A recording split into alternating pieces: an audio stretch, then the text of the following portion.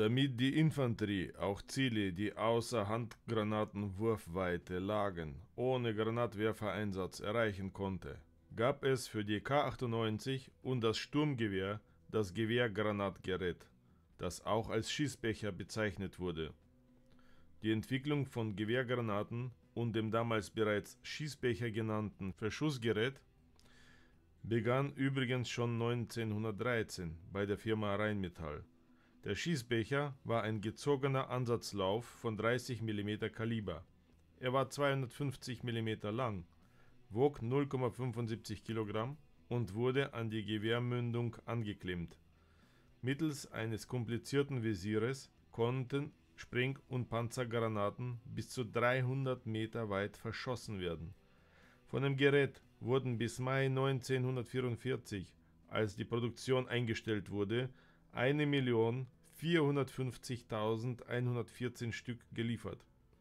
Von der normalen 142 mm langen Gewehrsprenggranate, die mit 0,3 kg Gewicht 31 Gramm Sprengstoff enthielt und die auch als Handgranate verwendet werden konnte, wurden 38,8 Millionen Stück geliefert. Davon waren im März 1945 immer noch fast 10 Millionen vorhanden. Die Gewehrpanzergranate 30 hat sich wegen der zu geringen Durchschlagsfähigkeit nicht bewährt. Sie wurde durch die große Gewehrpanzergranate ersetzt. Dieses 0,39 Kilogramm schwere Geschoss von 185 mm Länge trug eine konische Hohlladung mit 115 Gramm Sprengstoff. Die Durchschlagsfähigkeit war nun auf 70 mm angestiegen. Von den Gewehr-Panzergranaten wurden während des Zweiten Weltkrieges 23,8 Millionen Stück gefertigt, die bis auf 5,5 Millionen aufgebraucht wurden. Bei der SS-Waffenakademie wurde die Gewehrpanzergranate 46 entwickelt, die 90 mm Panzerung durchschlug die danach entworfene Gewehrpanzergranate 61 war eine weitere Verbesserung mit 125 mm Durchschlagsleistung. Hier noch einige technische Daten. Der Nummerncode war übrigens der Kopfdurchmesser. Der Drallschaft war bei beiden Granaten mit 102 mm gleich lang. Die 0,39 kg schwere 46er trug in dem 93 mm langen Kopf eine 150 Gramm wiegende kugelförmige Hohlladung. Das Gesamtgewicht betrug 0,4 kg. Bei der 61er stieg das Gewicht auf 520 Gramm. Im 136 mm langen Kopf war eine konische Hohlladung von 200 Gramm untergebracht. Größere Stückzahlen sind von diesen Granaten nicht mehr gefertigt worden Verschossen wurden diese Gewehrgranaten mittels einer Gewehrkartusche. Das Geschoss bestand aus Holz und die Treibladung wog zwischen einem und zwei Gramm. Im August 1943 wurde die Gewehrblendgranate eingeführt, eine Art Blendkörper. Zum Verschuss von Flugblättern gab es die 145 mm lange Gewehrpropagandagranate mit 230 Gramm Gewicht ein 9 Sekunden Zeitzünder zerlegte das Geschoss nach etwa 450 Metern Flug. Von dieser Munition wurden 1,1 Millionen Schuss gefertigt. Einer Sonderfertigung der Firma Wasak war die Gewehrgranate zur Panzerbekämpfung, auch GGP genannt. Sie wurde nach Art der Stillgranate nicht in, sondern auf den Schießbecher geschoben. Das 520 Gramm schwere Geschoss war 234 mm lang und trug im Kopf von 60 mm Durchmesser eine halbkugelförmige Hohlladung mit 175 Gramm Gewicht. Damit konnten 40 mm starke Panzerplatten durchschlagen werden.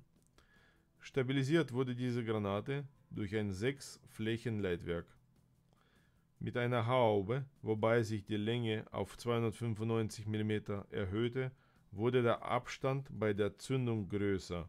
Die Durchschlagsleistung stieg auf 45 mm an. Eine spezielle Entwicklung waren die Gewehrgranaten mit Kampfstoff, die bei den Firmen Hasak und Bergmann entworfen wurden.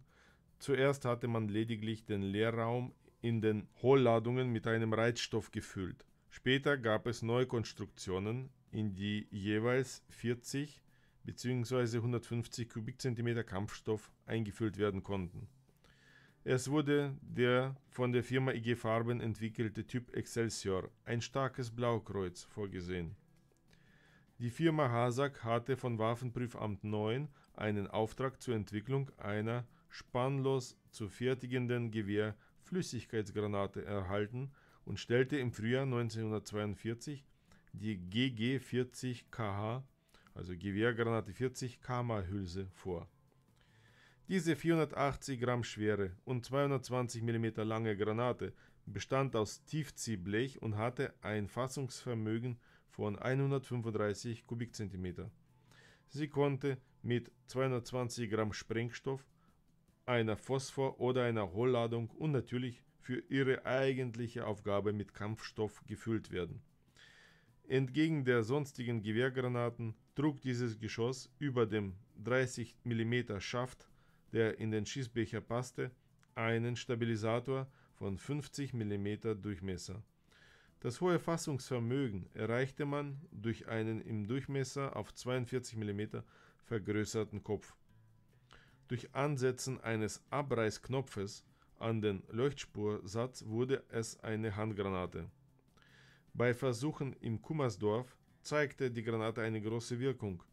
In eine 26 cm starke Ziegelmauer wurde ein 30 x 50 cm großes Loch geschlagen Laut Abnahmeprotokollen wurden 312.850 Stück bereitgestellt. Eine Füllung mit Kampfstoff ist jedoch nicht nachweisbar. Versuche mit Gewehrpanzergranaten, die zusätzlich einen Raketenantrieb besaßen, wurden nicht abgeschlossen. Der freie Raum der Hohlladung enthielt hier den Treibsatz des Raketenantriebes. Es wurden zwar Reichweiten bis zu 940 Meter erzielt, wegen mangelnder Treffgenauigkeit wurde die Entwicklung aber dann eingestellt. Ein weiterer Versuch blieb eine Gewehrgranate, mit der Öltanks durch Sabotagegruppen in Brand gesetzt werden sollten. Die Granate durchschlug den Öltank und sank zu Boden. Nach einer Stunde sprengte ein chemischer Zünder den schweren Drallschaft ab und ein Luftraum trug das Geschoss an die Oberfläche, wodurch eine Zündladung brennendes Thermit ausgestoßen wurde, das dann in kurzer Zeit zur Explosion des ganzen Tanks führen sollte eine andere Entwicklung aus diesem Gebiet war die Gewehrleuchtgranate, von der 1945 im März noch 95.000 vorhanden waren, insgesamt wurden 133.000 produziert. Bei der Brandgranate, von der zwei Versionen vorlagen, verzögerten die Schwierigkeiten mit dem Zünder eine Serienproduktion. Von den Doppelschussgranaten für den Schießbecher sind auch nur Kleinserien gefertigt worden Begonnen hatte diese Entwicklung bei der Firma Bergmann mit der kleinen Ausführung, die 520 Gramm wog und 120 Gramm Sprengstoff trug. Bei einer Austrittsgeschwindigkeit von 160 Meter pro Sekunde wurde ein Durchschlag von 85 mm erreicht. Die Bezeichnung Doppelschuss bezog sich auf die zusätzliche im Hohlraum des Drallschaftes untergebrachte Treibladung, die durch die Gewehrkartusche gezündet wurde mit dem nächsten Muster, das bei 1,1 kg Gewicht lag und 560 Gramm Sprengstoff enthielt, konnte die Durchschlagsfähigkeit auf 140 mm gesteigert werden. Auf 180 mm brachte es die große Ausführung, die bei einem Gewicht von 1,6 kg einen Sprengstoffanteil von 730 Gramm trug. Trotz der mit 70 m pro Sekunde geringen V0 also Mündungsgeschwindigkeit, wurde eine Schussweite von 375 Meter erreicht. Die Streuung war aber mit 43 Metern in der Längs- und 35 Meter in der Seitenrichtung zu groß, um Panzerfahrzeuge sicher bekämpfen zu können.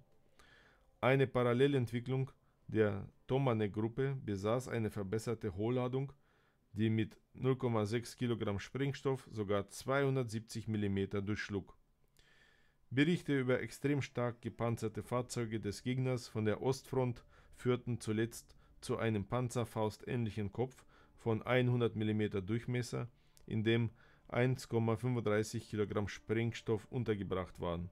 Die Hohlladung, zu deren Verschuss eine zusätzliche 250 Gramm schwere Treibladung notwendig war, durchschlug 360 mm Panzerstahl. Freunde, das war's. Vielen Dank fürs Zuschauen. Für ein nächstes Video über eine Schusswaffe bitte Daumen hoch. 1000 Likes brauche ich unter diesem Video mindestens für ein nächstes Video. Bis zum nächsten Mal. Danke fürs Zuschauen nochmal. Tschüss.